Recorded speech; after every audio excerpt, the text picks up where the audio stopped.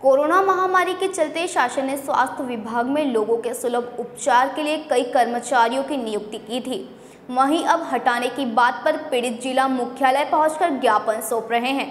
खरगोन ज़िले के corona warriors भी अपनी मूलभूत मांग को लेकर कलेक्टर कार्यालय पहुँचे और उग्र आंदोलन की चेतावनी देकर ज्ञापन सौंपा। उन्होंने बताया कि कोरोना काल में मौत के मुँह में काम करके सरकार की गाइडलाइन के अनुसार सेवा कार्य किया। यह भी बताया कि कोरोना महामारी के बढ़ते प्रभाव के मद्देनजर कर्मचारियों को काम करने दिया जाए। खरगोन से जयंत गुप्ता की रिपोर्ट। है, बहुत अच्छी बात है। लेकिन हम लोग जो कोरोना वेरियर्स हैं, वो मतलब कि इस महामारी में योगदान दे रहे हैं तो हमारे बारे में क्यों नहीं सोच रहे हैं?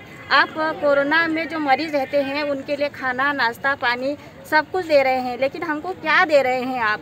तो आप से मैं विनती करना चाहूँगी कि आप कम से कम हमको संविदा में संविलियन किया जाए। और हमारा मतलब कि आप हमारे हमारे ऊपर हाथ रखें और हमारा मतलब कि हमारा ध्यान रखें। और सहायता दे। जबकि मुख्यमंत्री जी कहते हैं कि पूरे प्रदेश की जो बहनें हैं वो मेरी बहनें हैं महिलाएँ मेरी बहनें हैं और बच्चियाँ जो मेरी बहनजियाँ हैं लेकिन फिर भी इस तरीके का दुर्व्यवहार किया जा रहा है। हाँ तो वही कि आप हमारे साथ ऐसा दुर्व्यवहार क्यों कर रहे हैं? आप मरीजों का तो ध्यान रख रहे हैं लेकिन जो मरीजों को ठीक कर रहे हैं उनका ध्यान क्यों नहीं रख रहे हैं? बहनों को बेरोजगार इसलिए आप हमें सपोर्ट करें और हमारा विश्वास और बढ़ाएँ। बहनों को बेरोजगार कर रहे हैं। बहनों को बेरोजगार कर रहे हैं। क्या नाम लिखते हैं सुनीता पाटीदार। ज्ञापन देना है कोरोना वॉरियर्स की जो छटनी हुई है जिसमें 50 परसेंट स्टाफ रखने का कहा है और 50 परसेंट को हटाने का कहा है। उसमें फार्मासिस्ट को बिल्कुल भी हटा दिया गया है कुछ किसी को भी नहीं रखा है और एनएम को भी किसी को भी नहीं रखा है। तो क्या शासन का आपकी ज़रूरत नहीं है? शायद शासन को हमारी ज़रूरत नहीं हो कोरोना खत्म हो गया उनकी नज़र में। तो आपको ऐसा पहले नियुक्ति दी गई थी तो ऐसा कुछ कहा गया था कि कितने दिन के लिए रखेंगे? तीन महीने का बोला था और एक महीने में ही निकाल रहे हैं। तीन महीने के लिए ये वैकेंसी जो निकली थी वो तीन महीने के लिए थी। पर उसमें जब सबसे ज़्यादा महामारी थी उस टाइम पे स्टाफ नर्स और कोरोना वायरस सभी ने एनएम और इन्होंने सभी ने ड्यूटी अपनी पूरी इससे तो आपने अपनी जान जोखिम में डाल के ड्यूटी क्यों की?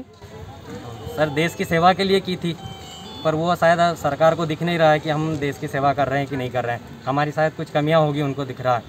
स्टाफ ये कोई भी काम नहीं कर रहा होगा।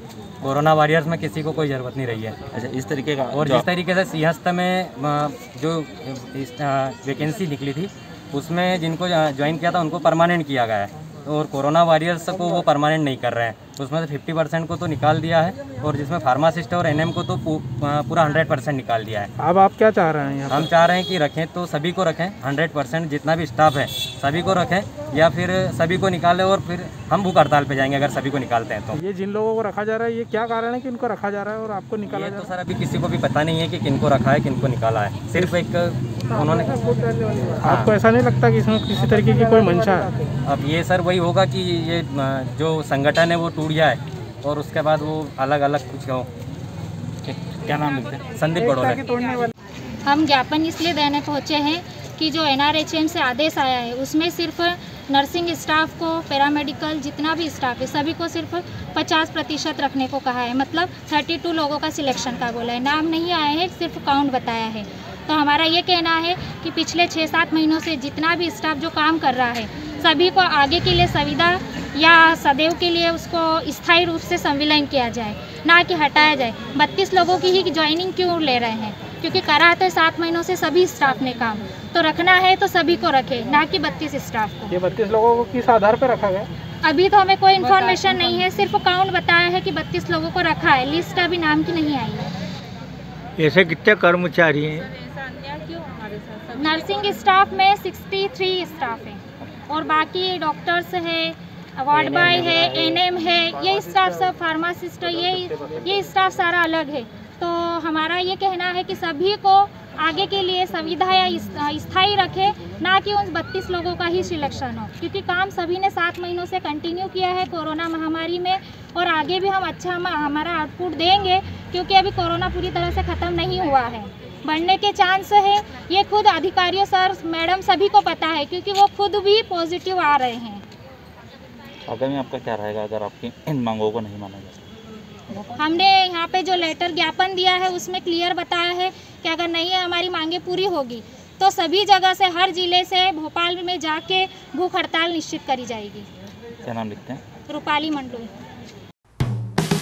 हेलो फ्रेंड्स आप देख रहे हैं हमारा channel S W twenty four news हमारे सारे वीडियो सबसे पहले देखने के लिए आप हमारे चैनल को सब्सक्राइब करें और पास में लगे बेल आइकन को दबाना बिल्कुल भी ना भूलें।